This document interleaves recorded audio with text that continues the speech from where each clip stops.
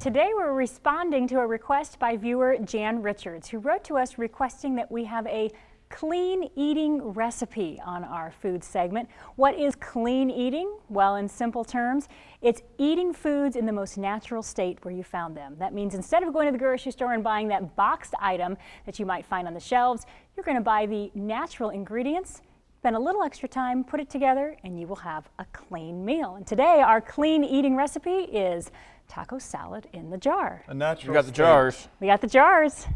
I guess that, and it's clean jar. I would hope so. Arizona's a natural state, right? So we need to go to Arizona to get all of our That's the food. best guacamole I hear. Well, we're going to try our best here in here in Ohio, and we're going to start out with our recipe by making the dressing. You know, even the dressings that you get in the store aren't always filled with the right kind of stuff. So we are going to make a creamy salsa dressing, mm. which we're going to use as a top. All right, guys, here's what you need to do. All right. Mark, I want you to juice that lime. Alrighty. Andy, here is an avocado. As you can see, it mm. looks dirty and yucky on the outside. That is a sign that it is ready to eat because take a look at the Oh, inside. wow.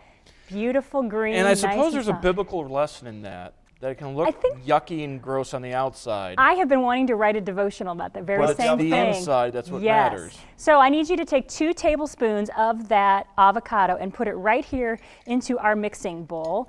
Mark, when you've got the lime juice, go ahead and put that in our Oh, it's mixing really bowl. soft. Well, yep, that's why you want to have the soft avocado when you purchase it from the store. That's why it's Where am I ready, putting this? ready to go. Yep, put it right in there. Just two tablespoons of that. So we're putting in um, two tablespoons of ripe mashed avocado, juice of one lime, a quarter cup salsa. Go ahead and grab that salsa, and then two tablespoons of plain Greek yogurt. Oh, I thought that was sour cream. No, no, no, it's not. It is Greek yogurt. This is the dressing that is optional that we're going to put on the top of our taco in a jar. Put the lid on here, and then You're gonna ninja it up. you go ahead. Just press the top. All right, there we go. Our dressing is done. Wow. that set was the- quick and easy. We'll set that aside and we'll come back to that Oh, a little bit later. Okay. Time now to assemble our taco salad in a jar. And here are the ingredients that we have. Fa- half a pound of ground Your sheet says turkey. skinny taco salad. I would like to It does. mention. I have removed the word skinny simply because we have chosen to use beef, and some people will say that Oh. that adds more more fat in. okay. But um, I think you can do this either with turkey or ground beef. So we've got beef, and then take a look. Instead of just going to the store and buying the packaged taco seasoning, we added in a teaspoon of chili powder, a half a teaspoon of cumin, a quarter teaspoon of garlic powder, and sea salt. And we just put all of those spices in, and you've got the items you need. Got some extra items as well. We've got three cups of romaine lettuce, half a cup tortilla chips broken up, half a cup of cheddar cheese, one cup of halved cherry tomatoes, and then we also have a half a cup of salsa. Okay, guys, so now we just simply need to assemble this. Took probably about 10 minutes time to actually get the ingredients ready. This is something you want to do ahead of time. You're going to use this for lunches possibly for the next couple days. So you shouldn't do this for your home TV segment. Well, certainly you can do this at home Oh, too, okay. but if you need a healthy lunch on the go, this could be a healthy option for you. All right, guys, to make your salad, first take the tortilla chips and divide them between the two jars. We're just gonna layer things now. Do the chips get soggy when you put them at the bottom? Well, no, actually, because the lettuce is going to protect Oh, them. Okay. See, Mark is Mark is being a very giving person. Look, he gave Did I you get extra. more? Thank you, Mark. Well, what can I say? All right, next Lettuce? step. Layer, oh, layer with half the cheese. Oh, Half the cheese. So this is cheddar cheese. Um, if you buy the taco seasoning cheese in the store, again, you never really know what kind of seasonings you're getting into it. So the more that you can pick things in the natural state, the better. Next, it's the lettuce. Half the lettuce goes in each of the jars. The guys did wash their hands. Don't worry, I made sure that they would because I told them they'd be handling the food. To answer your question, the lettuce is protecting the chips from Is getting really? soggy. So here, Do you need to use all the lettuce? yep, you want to put each, you want to do half the lettuce in there. Go ahead and stuff it down. You can get a lot of stuff in there. Um, lettuce, of course, contains a lot of water. It's a low carb um, thing that you can eat. And this is romaine lettuce that we are using. How you doing, guys? Did you taste it already? The cheese. You did. Okay. Coming up next, it's time for the meat mixture. So half of the meat mixture What makes it a mixture? Did Well, because we put the something it? seasoning in it. Oh, the seasoning. I got you. I wasn't Yep. listening. You want me to pour it? Yes. So as you can see, we, possibly you might want to have a funnel when you are doing this kind Or of thing. Or wider jars. Well, those are wide mouth hands. jars. Pam's not going to be happy with me.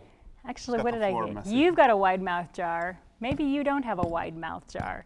All right, push it on. A, there actually are devices that you can get that would, um, you can press things down. You can get kind of a masher that doesn't mash the food. So that's another option. Next, you need the tomatoes, cherry tomatoes on top.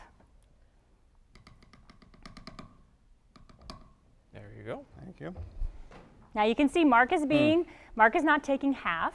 You don't have to. You can make this exactly the way that you like. Maybe you like more meat. Maybe you like more vegetables. Or less cherry tomatoes. Less don't cherry, about cherry tomatoes. tomatoes. That's true. Hey, this is perfect. They're now making lunch for What me. What about the salsa?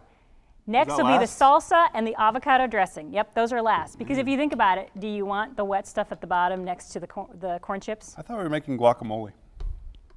Not today. Would you guys like to see us make guacamole? We responded to Jan Richards' request for a clean recipe. Maybe you want to tell us what you'd like to see.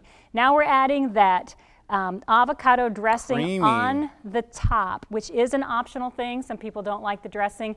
If you are trying to make it as healthful as possible, then the dressing might be the thing you're going to pull off. Okay, guys, you want to put lids on. I guess I've got Thank you. That's awesome. Seal it tightly, put it in the refrigerator. It should stay good for a couple days, so you want to consume it within a couple days. But when you're ready, all you have to do is take your jar, dump it out. Don't you want to shake it up a little bit? Get some of that Nope. dressing all around it? Not Uh-oh. yet. Nah, too late. Not yet. Not if you're, well, if you're going to eat it first, yes. But if you're going to wait for a couple days, leave it just the way it is. How many days can you, unshaken, how many days can you leave Only it in the about fridge? Two. Because of all the things inside of it. Yeah, you, you once, once the wet stuff gets down to the lettuce, you, you want to eat I that. think the avocado is just one day.